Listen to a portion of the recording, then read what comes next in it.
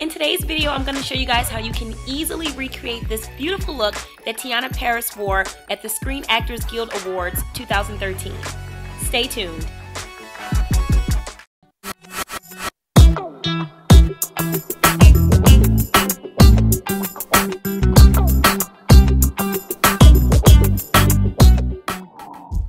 Hey, it's Vaughn, and for today's look, we're going to start with blow-dried hair.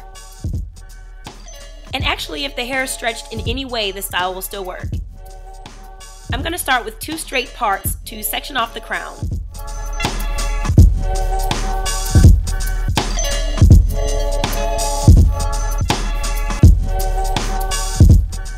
Once I have the area sectioned off, I want to clip it down very securely.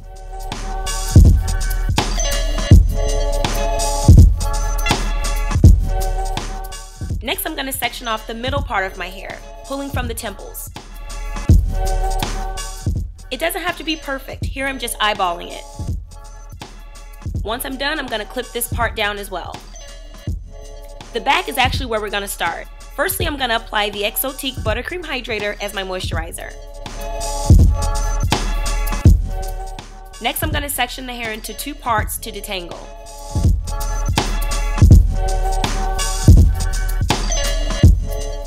Because I want the edges to be really smooth and sleek, I'm going to add some of the Creme de la Mode Edge Control product.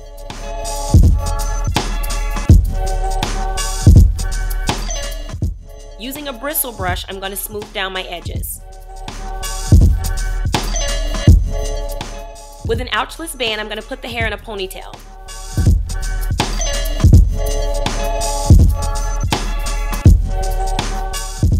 For best results, the ponytail should be nice and tight.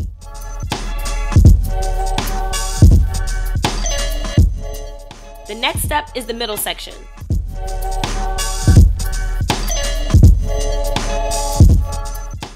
We're going to follow the same steps as before by moisturizing first, followed by detangling.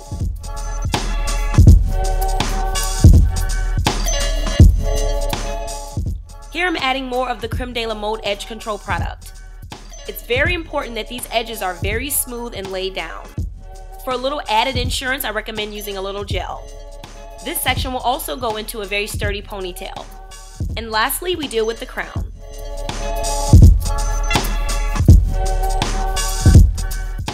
I would also recommend adding some of the Creme de la Mode product to the front of the crown as well. Next, I'm going to detangle the hair. I'm going to be combing it straight up. Next, twist the hair, leaving the roots very loose. Choose a side that suits you and then pin your twist down. Be sure to take extra precautions to hide your bobby pins for this style. The crown is probably the most important part of this style, so I do recommend pinning it until it's flawless. Once you're satisfied with the shape, it's time to move on. Next, I'm going to layer on the Creme Jelly Styler to all the remaining hair. Break the hair into two sections and twist each of them separately. Remember to twist the hair very loose at the root and very tight at the end. This is how you're going to achieve that puffy yet tamed look.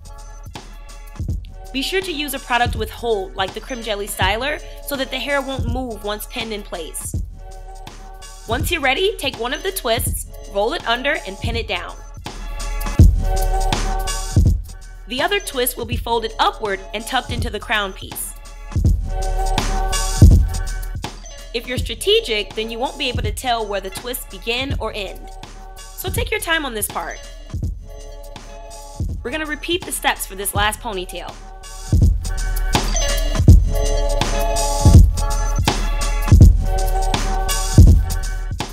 Once the hair is nice and fluffy, we're to pin one twist under and the other upward.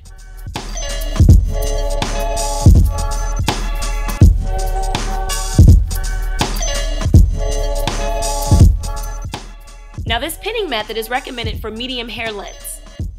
If your hair is longer, you may need more bobby pins. Now that we've got red carpet ready hair, let's go ahead and finish the look.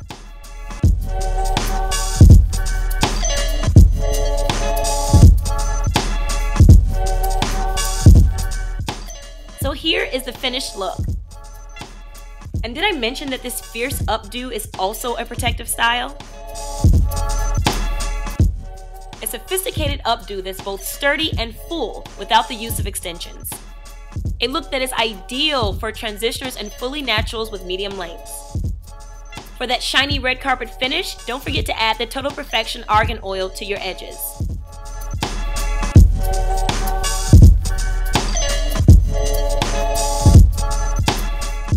And to achieve this style, all I used was the Entwine Couture product line.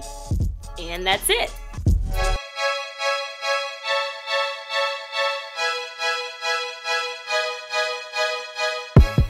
So to finish off this celebrity look, I opted for this long purple gown with stud and sequin detail. And even if you're not going to be on the red carpet anytime soon, you can still wear this look to a wedding or a really nice party. Or you can choose to rock it as a really casual look. Whatever you choose, have fun and love your hair. And if you want to try the Entwine products, use this code to save $5. Today's tutorial was brought to you by EntwineCouture.com.